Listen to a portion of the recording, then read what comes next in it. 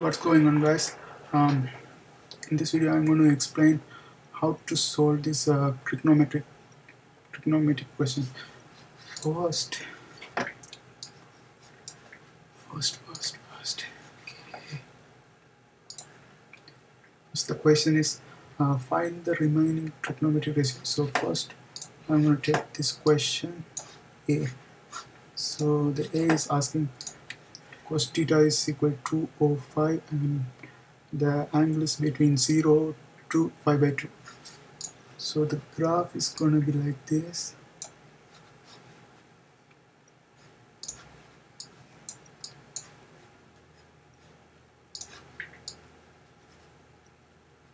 Supposed to be a straight line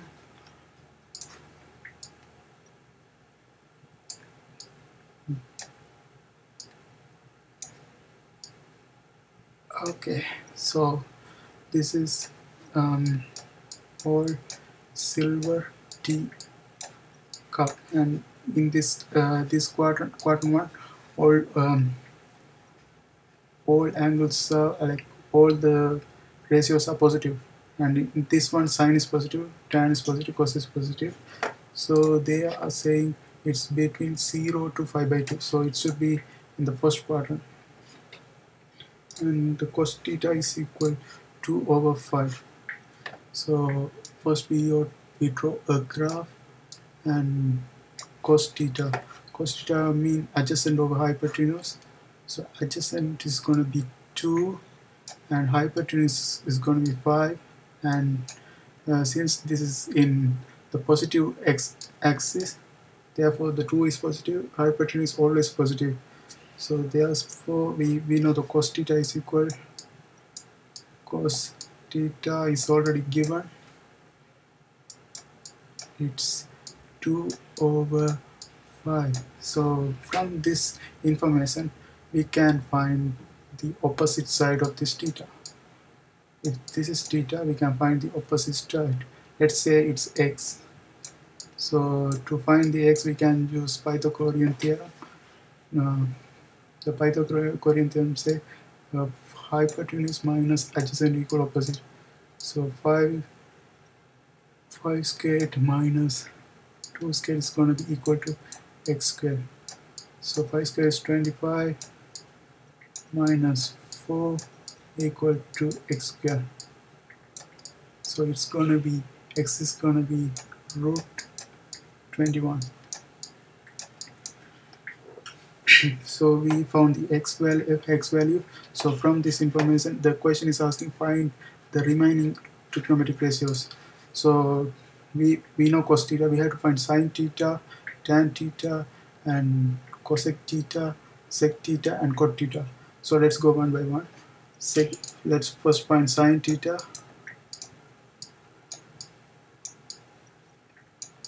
Sine theta is equal to opposite over opposite of hypotenuse. So we found the opposite x value uh, root 21 so root 21 over 5 so that's going to be sine theta. And tan theta is equal tan theta is equal sine theta over cos theta. So sine theta is root 21 over 5 and cos, two, cos theta is 2 over 5 so we divide sine theta uh, by cos theta. So the answer is going to be 2 uh, sorry root 21 over 2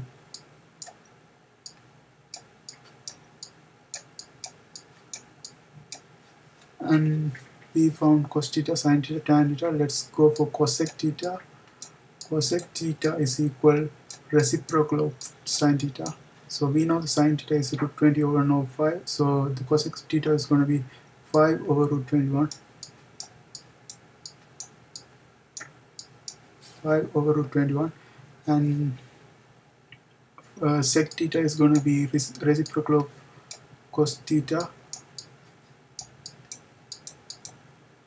5 over 2 and cot theta is going to be reciprocal of tan theta. It's going to be 2 over root 21 So this is the answer for the A question. so let's go to the B question. I'm gonna open a new a new uh, don't say okay new document. And the second question is given the information given is cosec theta is equal to 7 over 3 and the interval is between pi by 2 over pi so let's draw the graph first. So the graph is going to be like this and the interval has given pi by 2 to pi so pi by 2 to pi mean uh, it should be 90 pi by 2 is 90 degree and pi is 180 degree. It should be in this interval. So first of all uh, we draw the graph first. Cosec first let's write this. Cosec theta is equal cosec theta is equal 7 over 3 which means cosec mean reciprocal of sine theta. So we know sine theta is equal 3 over 7 also we have to consider in this quadrant all are positive. Sine is positive. Uh, also the t tan is positive cos is positive. So I'm going to draw this graph in this line. And uh, sine theta is given 3 3 is opposite side and 7 is hypotenuse from this information we can find the adjacent. Let's say adjacent is a. So a is going to be 7 square according to Pythagorean theorem. 7 square minus 3 square is equal a square. So 7 square is 49 minus 9 is equal a square. So a square is equal to 40 and a is going to be root 40 root 40 we can uh, we can write uh, root 40 like 4 into 10 so 4 is going to be uh, if it comes outside 2 2 root 10 so a is going to be 2 root 10 so we found the hyper adjacent side. So from this information we can find all the values. So we know sine, sine theta cosec theta we are going to find cos theta tan theta uh, sec theta cosec theta is already given and cot theta so cos theta is going to be hypotenuse over um, just know hypotenuse. So adjacent is 2 root 10 over hypotenuse 7 and tan theta is going to be opposite over hypotenuse. Opposite is 3 over 2 root 10 and sine theta, cos theta, tan theta, cosec theta. Cosec theta is already given. Sec theta, we can find the sec theta by cos theta because it's going to be uh, also we should the import but information is in this side uh, in this side x value is negative so should be negative 2 root 10 so therefore cos theta is negative 2 over uh, 2 root 10 over 7 and tan theta is going to be sine over uh, sine theta over cos theta therefore cos theta is negative so therefore everything become negative. This is tan theta is negative and sec theta is a reciprocal of cos theta therefore it's also negative. Negative 7 over 2 root 10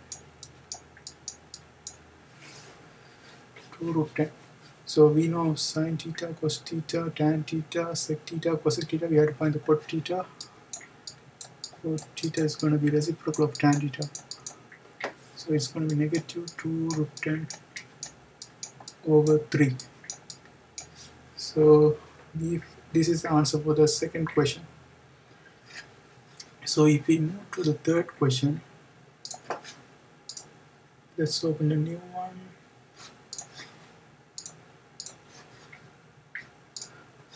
Okay. the third C question asks sine theta, uh, given uh, information is sine theta is equal minus 1 over 4 and, uh, and the angle should be between pi over 2 to 3 pi by 2 so therefore it should, it should be between 90 degree to uh, 270 degree. So let's draw the graph first.